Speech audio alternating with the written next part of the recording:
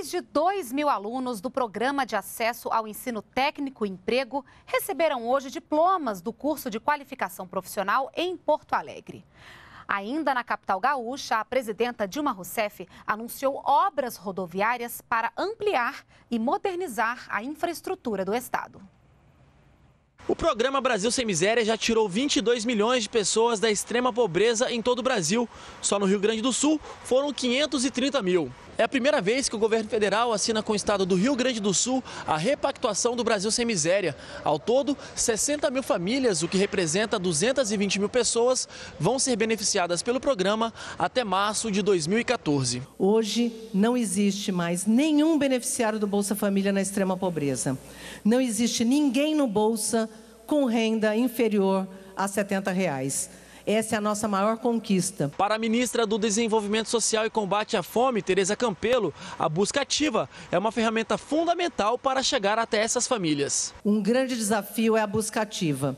Aqueles que são extremamente pobres porque não estão no cadastro único e devem ser encontrados. Uma maneira de fazer com que essas pessoas saiam de forma definitiva da pobreza é dar educação a elas. Por isso, o Pronatec, o Programa Nacional de Acesso ao Ensino Técnico e Emprego, tem papel fundamental no Brasil Sem Miséria. E nesta sexta-feira, ainda durante o evento, 2.300 alunos receberam o certificado de formatura pelo programa. Cristiano Medeiros é um dos formandos. O curso é muito gratificante, porque a gente vai ter uma boa oportunidade de emprego no futuro. No discurso, a presidenta Dilma Rousseff falou da importância da alfabetização na idade certa e do acesso à escola de tempo integral.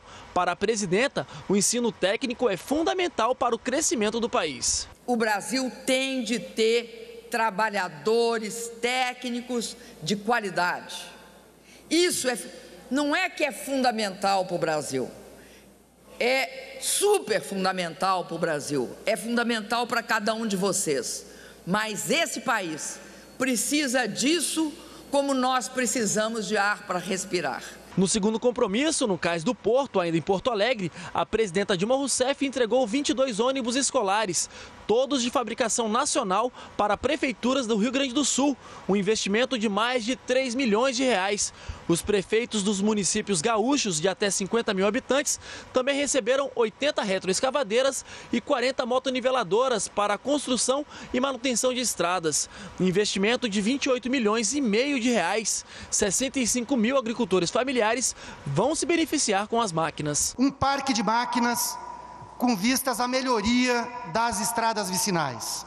E eu sempre digo que pela mesma estrada vicinal por onde passa a produção da agricultura, também passa o ônibus escolar que o Ministério da Educação está distribuindo. A presidenta Dilma Rousseff aproveitou a ocasião para anunciar a ampliação e reforma de três BRs que cortam o Rio Grande do Sul. Nós precisamos de investir em infraestrutura, um volume de recursos que seja compatível com as necessidades da nossa população e com as exigências de investimento da nossa economia.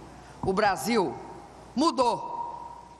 O Brasil hoje tem capacidade de pensar o que quer ser daqui a 10 anos.